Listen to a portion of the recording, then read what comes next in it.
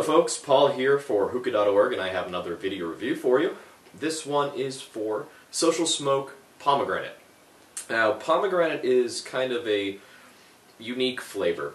Um, many of you might know that pomegranate is the main flavoring component for grenadine, which is a common component in a lot of mixed drinks, um, like the Shirley Temple and things like that, etc., etc.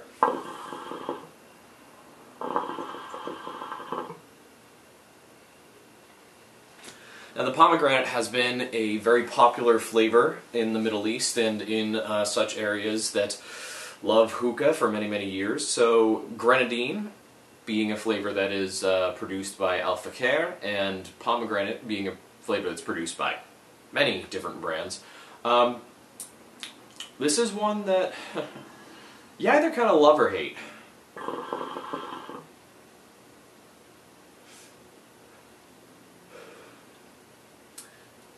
Pomegranate is a tough flavor to replicate. Now this one is fairly sweet. It's not over the top, um, so I understand why it's called pomegranate rather than grenadine. It doesn't quite have the um, sour bite that I enjoy from actual pomegranate seeds.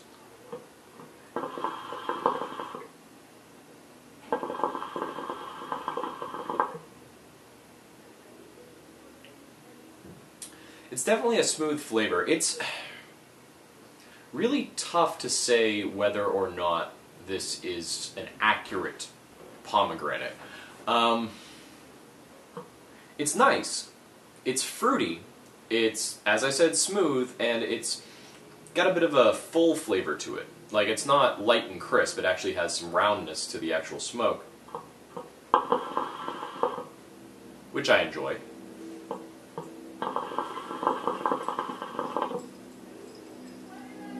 But this is lighter than something like Al Fakher Grenadine. Um, if you like Al Fakher Grenadine, this might not be the pomegranate flavor for you, but if you do like pomegranates, this is probably a pretty good bet. Most of the other ones I've found have almost no flavor whatsoever. This is actually pretty good. Um, I'd call it light to medium still, but it's not non-existent.